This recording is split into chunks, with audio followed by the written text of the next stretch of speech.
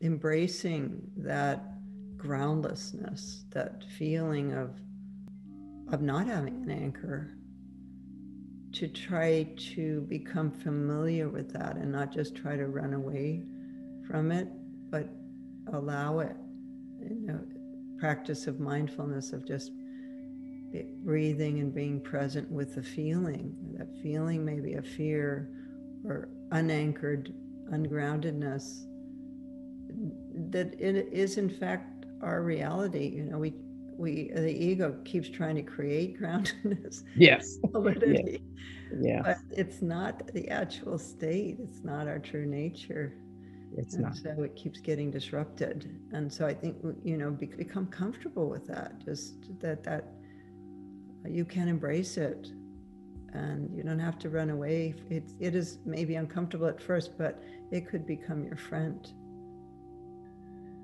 it's a powerful sacred transformative place. Mm-hmm. You know, there is a constant fear inside of all of us. It's constant. It's we're going to die. You know, that's constant. And so um, you can't run backwards to get away from it, you know? Um, so I think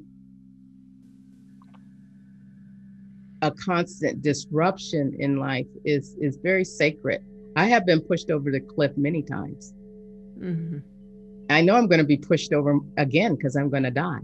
So it's just going to keep going on and on. And I noticed that when I am pushed over, and I'm just imagine flying in the air with nothing to grip.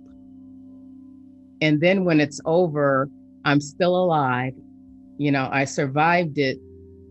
And I could either kind of go back and look for where I was holding on to, or I can just keep going and see what else is is is is going to be uh, presented to my life.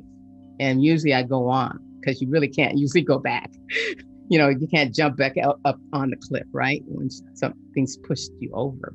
And so uh, sometimes I say I was I'm fortunate to have been pushed over so many times to in order to come to this place where I sit